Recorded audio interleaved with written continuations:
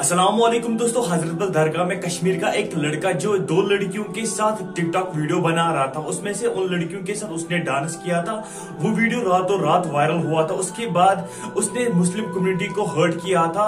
उसके बाद उसको एक्शन लिया गया। दोस्तों, वो माफ़ी भी मांग रहा है। मैं आपको उसकी एक वीडियो क्लिप दिखाने वाला हूँ, जिसमें से वो मुस्लिम कम्युनिटी को माफ़ी मांग रहा है। दोस्तों, इस वीडियो को ज़्यादा से ज़्यादा शेयर करना। दोस्तों, गलती तो हर एक इंसान से होती है। हमें इसको माफ़ कर देना चाहिए। इसने एक बार गलती किया। दोस्तों वीडियो क्लिप दिखाने से पहले मैं आप लोग से रिक्वेस्ट करना चाहता हूँ। अगर आप मेरी चैनल पे नए हो तो चैनल को सब्सक्राइब करके रखना और साथ में बेल आइकन ऑल पर प्रेस करना। आपको जम्मू कश्मीर की हर एक न्यू अपडेट इसी चैनल पे मिलेगी।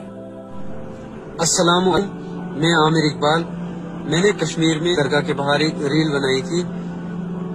इंसान से ही गलती होती है और मेरे से भी गलती हुई।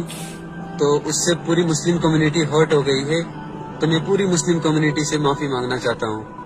चलो दोस्तों, आप लोगों ने वायरल वीडियो क्लिप देखा ही होगा। इसके अलावा कोई भी इन्फॉर्मेशन मिलता है, वो आपको इसी चैनल पे मिलेगा। मेरी चैनल को सब्सक्राइब करके रखना। मिलते हैं अगली वीडियो में, तब तक के लिए अल्लाह हाफिज।